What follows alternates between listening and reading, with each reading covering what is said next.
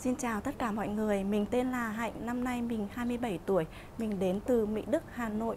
Mình biết đến thương hiệu Eversing thông qua YouTube, Facebook, Zalo và TikTok. Mình còn có một số những người bạn đã từng và đã học ở đây đã giới thiệu cho mình đến đây và mình đã đến đây tham quan trực tiếp. Mình thấy ở đây môi trường rất là hòa đồng và vui vẻ. Các cô giáo thì rất là thân thiện Ừ, và mình đã đến đây mình học hỏi được rất nhiều thứ.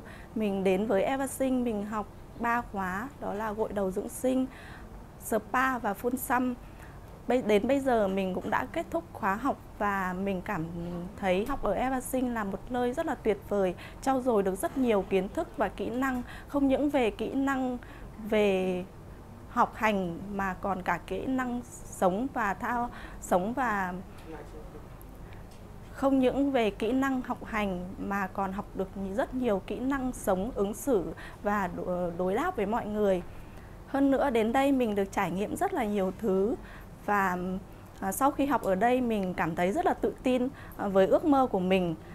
Ngày trước là mình cũng từng làm rất nhiều công việc nhưng mình đã không không tự tin với công việc như thế và mình đã chọn à, đến đến Sinh và quyết định thay đổi lại À, bản thân của mình. Và sau khi học xong mình cảm thấy rất tự tin. Bây giờ mình có thể à, ra nghề và mở một tiệm nhỏ về spa và phun xăm riêng cho mình, tạo lên thương hiệu riêng cho mình. Và mình rất biết ơn vì điều đó. Biết ơn về các cô giáo, biết ơn về các bạn bè đã giúp đỡ mình trong quá trình học tập rất là nhiều. Nếu mọi người còn thắc mắc gì về Eversing thì mọi người à, hãy đến với Eversing Eversing luôn chào đón mọi người. Tôi yêu Eversing